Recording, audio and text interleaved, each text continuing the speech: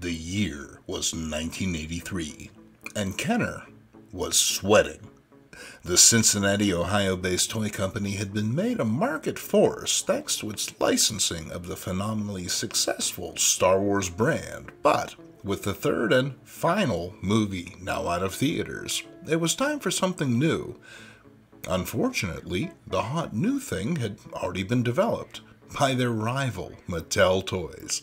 Mattel's Masters of the Universe Classic toy line had been embraced by kids for its exotic environments, larger than life characters, and exciting vehicles. In a sense, Mattel was eating Kenner's lunch and popping the bag using their exact same formula, but to greater effect. The fact that the syndicated show acted as a half hour commercial for the line didn't help. Free advertising at a time when Saturday morning commercial spots were at a premium. Kenner needed something, and fast. And in walked DC Comics looking to return their characters to market after Mego lost the license in 1981. DC's intention was to feature their stable of superstars front and center to claw back the market share fellow publisher Marvel had eroded. They were won over by Kenner's presentation, which offered a superpower gimmick for every figure. Activated by squeezing the arms or legs, the toys could emulate the characters they were based on, allowing heroes to punch, block, and kick.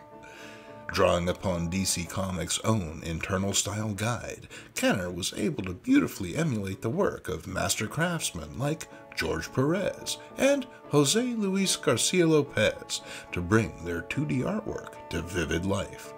There was even a color guide to make sure that Superman's PJs were on model. Bolstered by a series of eye catching commercials featuring the toys in action, Kenner's Superpowers line enjoyed strong sales out of the gate, and the company issued three series of figures before abruptly ending the party in 1986. Join us now as we head back to sunnier times when fun fit in your pocket and every day was a new adventure. Figure number one in the line was, unsurprisingly, DC's flagship character, Superman. What? You were expecting Wannabeast? As far as setting the standard goes, we're off to a brilliant start. This is a bold and dynamic sculpt, solid but not overly boxy like a few later figures. Supes has a power action punch, strong enough to knock down any villain, along with a nicely manufactured cloth goods cape complete with S logo. Superman also comes with a 16 page mini comic and steely blue eyes, guaranteed to stop any evildoer or girl reporter in their tracks. Batman makes the number two spot, sporting his classic blue and gray togs, Remember, this was five years before the movies washed all color out of the Cape Crusader's closet, so no black leather in sight. He has a power action bat punch, which seems kind of lazy. I mean, the first guy could punch. Give Bruce a batarang or bat rope to throw, or maybe flapping action. A stern skull balances the bright colors, keeping this Dark Knight out of Super Friends territory. Taking up the rear of the Trinity is Wonder Woman in her modernized Bronze Age outfit. Armed with power action deflecting bracelets, a simple crossing of her elbows sends bullets harmlessly away from her and into nearby crowds. Hmm, wait a minute. The figure comes adorned with a sparkly length of gold thread that most kids lost instantly and a set of legs that ZZ Top could base an entire career renaissance on. One could argue that the head sculpt is suggestive of Lynda Carter, but she looks a little more like Linda Lavin to these jaded eyes. The Flash streaks into the number four spot with his power action lightning legs, which is a jazzy way of saying squeeze his arms and his lower extremities flop about. But I kid. Barry's about to have enough problems without me putting the boot in. He's a nice bright red with a crisp lightning bolt tampo easily worn away by careless thumbs. And how about that expression? This guy's just happy to be here, even if the Speed Force has melted half his head.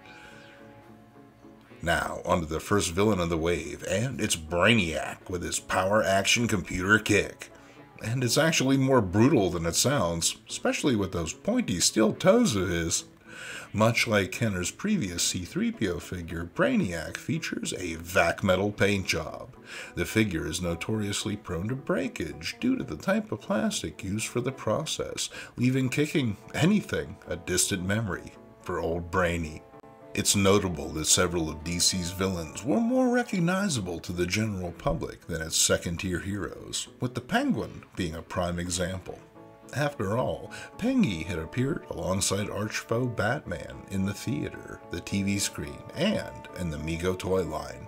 Of course he'd be front and center here, only this time with a power action umbrella to even the odds. This figure was re released in 1992 when Kenner decided it was a more palatable option for their Batman Returns line than whatever the heck this was supposed to be. Good call. If the Penguin is in Gotham, then the Crown Prince of Crime can't be far behind. The Joker is looking sharp in his purple tux, complete with tails. This is a separate piece that attaches to the figure and is frequently missing from examples today. Mr. J features a manic looking sculpt and a power action madcap mallet ideal for either property damage or a quick and dirty disguise. Is this how Joker got away in that Batman Christmas jingle? Well, that's up to you to decide. In a return to the heroic side of things, Aquaman makes the number 8 spot with his power action deep sea kick.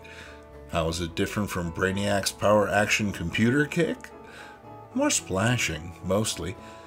Aquaman gets a lot of crap in pop culture, but as a kid, having a toy whose home was water made those trips to the beach or the pool that much more fun.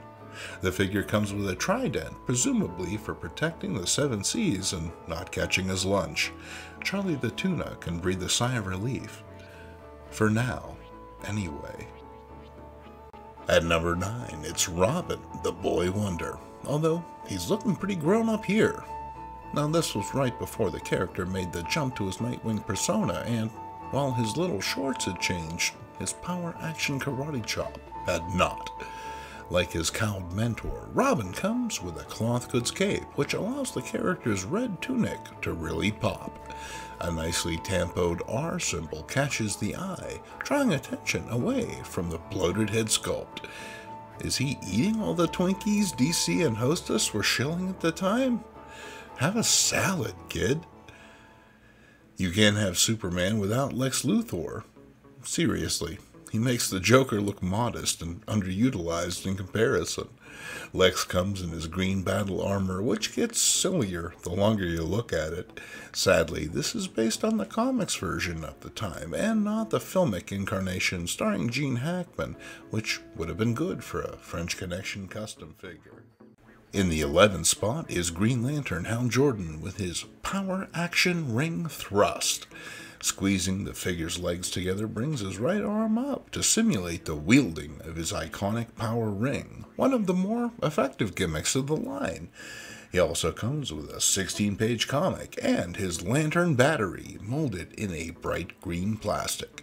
The figure has an exceptional head sculpt for the scale, a determined expression adding an air of gravitas to the whole affair. Saving the most striking design for last, Hawkman swoops into the final spot in the series. With his articulated flapping wings and Morning Star accessory, this figure succeeds in catching a child's eye, whether they're familiar with the source material or not. I mean, what kid wouldn't want a winged badass to stomp their other figures into the ground?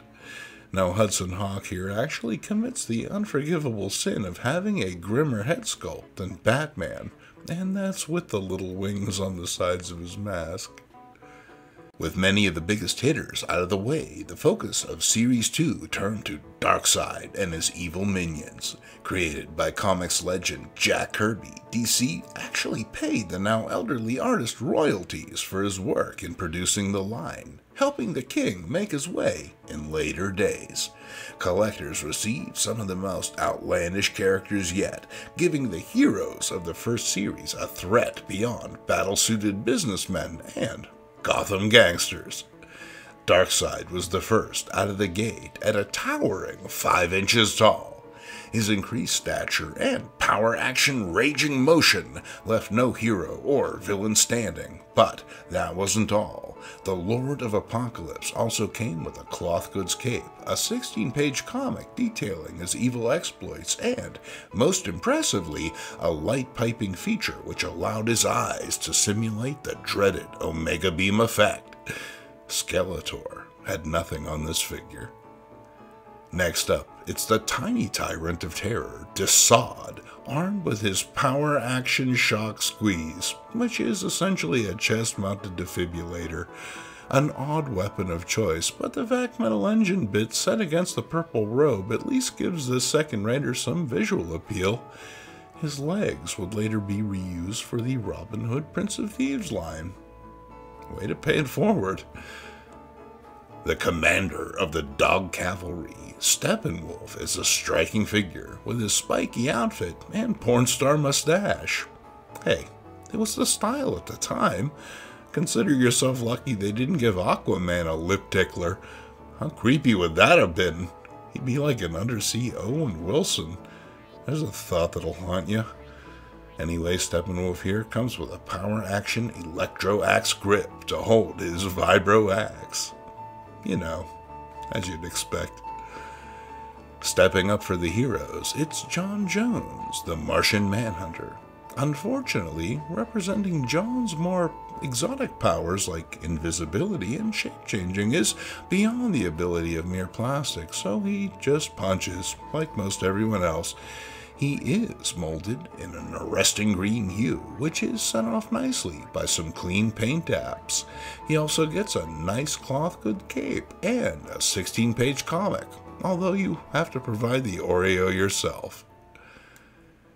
Perhaps the most enigmatic character in the line, Dr. Fate, has been around in one form or another since the 1940s, making him one of DC's oldest properties. Uniquely positioned as a magic user in a world of aliens and metahumans, the Doctor patrols the shadowy corners of the universe, dealing with threats outside of the norm. He has a cloth goods cape and one of the niftiest head sculpts in the line. Then again, I've always been a sucker for helmet fins. Firestorm was a character DC was pushing hard in the mid 1980s. Like me, he was a kid from Pittsburgh, just trying to make his way in the world, although my hair only burst into flame once or twice. His off the wall backstory and exotic power set seemed like a sure bet, but Firestorm never really graduated beyond C list status and that was with his power action atomic punch. What's a guy gotta do? Well, ask Green Arrow, the effortlessly cool archer who's somehow a member of the Premier League of Superheroes in spite of showing up to the party with nothing but some pointed sticks. I think it's the beard. Chicks dig a beard. And being a billionaire doesn't hurt, naturally. Ollie comes with a lime green bow and a single arrow that was destined for a date with your mom's vacuum cleaner. If you still have yours, the figure is worth another Hamilton. Easy. Dim-witted henchman and son of Darkseid, Kalibak, is up next. Dig his power action Beta Club swing, which is the talk of softball leagues three towns over. Now, I'm not one to judge, but if this is Darkseid's son, what the heck does his mom look like? The Lord of Apokolips has some selective taste in the ladies. His mom is so ugly the doctor slapped his grandma. For more jokes like this, see your local internet provider. Following on is the Kirby designed Parademon, a winged devil looking fellow who acts as cannon fodder for Apokolips. Think stormtroopers, only squatter and redder. One of the more unconventional figures in the line, the Parademon comes with a 16 page comic to read on his downtime and a yellow ray gun, presumably with Green Lantern's name on it. Oh, and the figure falls over. A lot. And because they got away with using the word thrust at retail once, Kenner figured, hey, let's do it again for old Mantis here. I guess Power Pinch sounds a little too underwhelming, but the figure itself sure isn't. Another big boy in the spirit of Brainiac and Darkseid, this guy's height and frightening appearance is more unbridled Kirby creativity for your toy shelf. Smile and say cheese. Big red cheese. It's Captain Marvel, aka Shazam a former Fawcett property bought on the cheap after DC sued the publisher into the ground over similarities between their character and Superman. The captain suffered the additional indignity of losing his last name due to Marvel Comics scooping the copyright. Shazam or Marvel, he seems to be taking it in his stride. Now, one of the costliest figures in the line, the captain here is grinning all the way to the bank and while he's relatively well known today, in 1985, Cyborg was still on the starting line. This wasn't for lack of trying on DC's part. Like Firestorm, Cy was part of that new wave of heroes that slow boiled instead of blowing up, gaining notoriety for their persistence rather than popularity. For all that, this toy is a standout of the line thanks to its vac metal paint and swappable weapon arms. Yowza! With his golden skin and purple translucent power action soaring wings, the Golden Pharaoh looks more like a rejected Bowie persona than a superhero, and with good reason. The character was created specifically for the toy line, why Kenner felt the need to get creative when it had hundreds of pre existing characters at its fingertips is anyone's guess.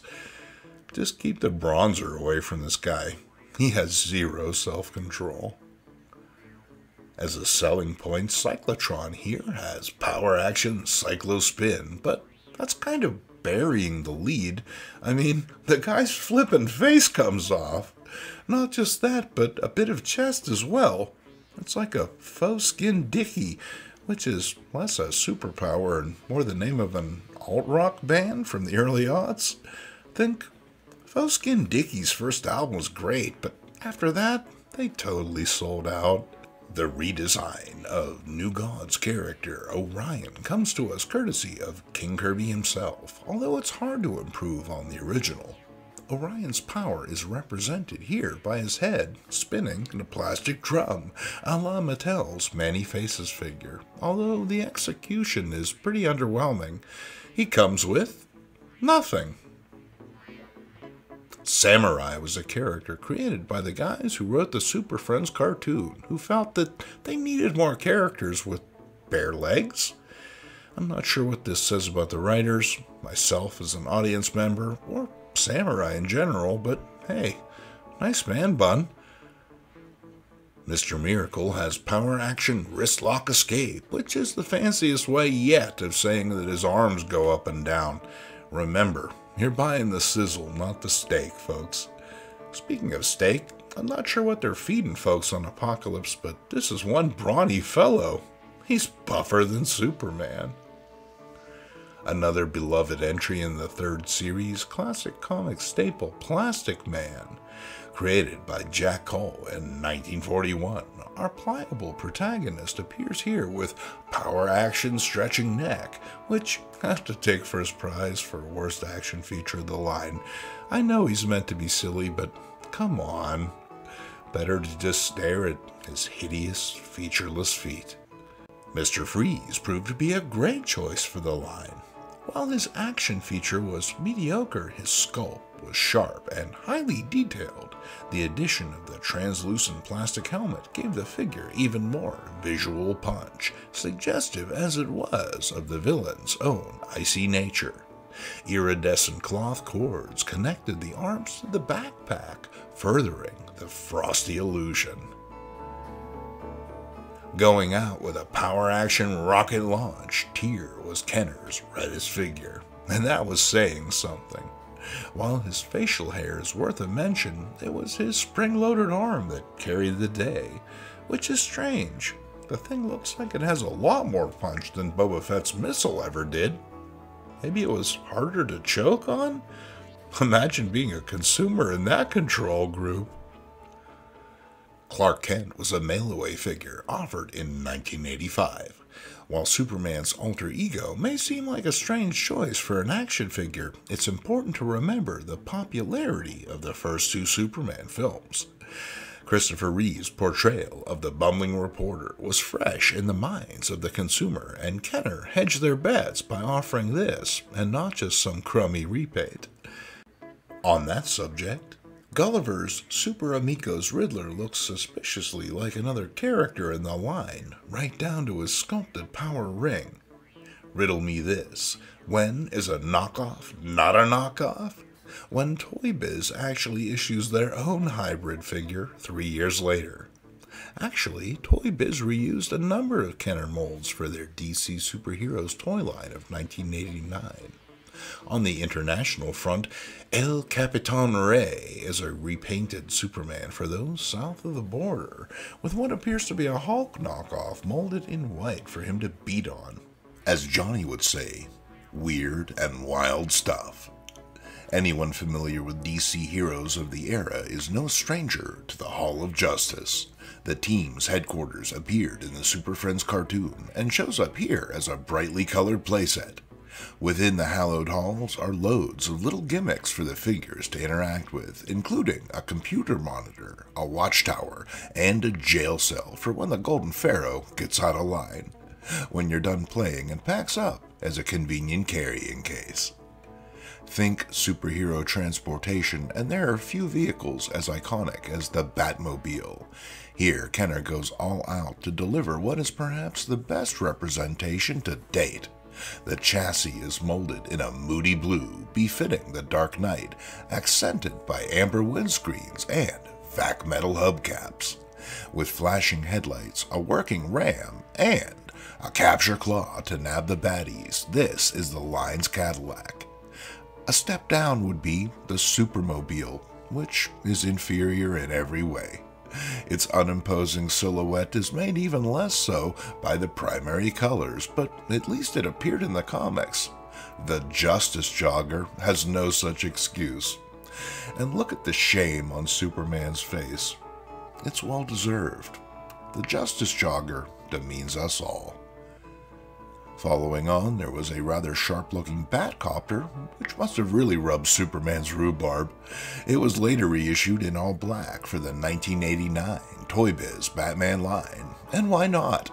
A reissue would actually sell, unlike the Lex-Soar 7 here, another made up item. Sure, I get it. If Superman has a vehicle, then his arch needs a vehicle too. Never mind the fact that Superman can fly and Lex is wearing a battle suit that can do the same. Let's put him in bumper cars. And if that seems like it's taking the Star Wars formula too far, then check out Kalibak's Boulder Bomber, a high tech attack craft that launches rocks. Don't furnish your invading army with Ewok military surplus. Step up your game, Darkseid. The Delta Bomber is another line specific vehicle, and it's a ridiculous eyesore. Its silly shape and bright colors puts it firmly in Fisher Price Adventure People territory. Darkseid fares a bit better, but again, the non threatening design and goofball color scheme sends this one right to the clearance aisle. Publisher DC Comics issued three limited series in support of the line, although Kenner had pulled the plug before the third series had finished. With art by Jack Kirby, among others, the books lack the synergy of the Free Packin' comics and are largely forgotten today. Saturday morning cartoon Super Friends, the legendary Super Power Show, ran from 1984 to 1985 and featured new characters having adventures alongside the more established heroes. The Superpowers brand was even used to market older cartoons, like Filmation's Batman Superman Hour. I call shenanigans. If audio is more your thing, then you could thrill to these book and tape collections with the sort of high quality acting and production values that you'd expect. Do not attempt to resist us, human. We will only make it more painful for you. There were also activity books for younger fans if you'd managed to resist eating your crayons. Mom packed you a lunch, so you don't have to. Although burnt sienna does sound like it'd make a better dessert than an old bruised apple. To digest your shame, unwind with the Give a Show projector, then wrap it all up by hitting the sack in your Superman sanctioned pajamas. Ah, all is right with the world. In closing, Superpowers wasn't just a toy line, even though that's what it's best remembered for. Superpowers was a rebranding, a recontextualization of the familiar, a new coat of paint on that sturdy old bike. It was the push that saw DC properties return to many homes after a too long absence, re establishing the characters and showing there were still stories to be told and money to be made. In just a few years, the Tim Burton helmed Batman film would break box office records, and the sales of its resulting toy line would make Superpowers seem like a modest success at best. While it's hard to imagine a world before movies made these characters household names, it's one you don't need a boom tube to return to. Only some toys and your unfettered imagination. I'm Jason Mink. Thanks for watching. If you enjoyed this program, please check out the other comics related content available on this channel. Until next time.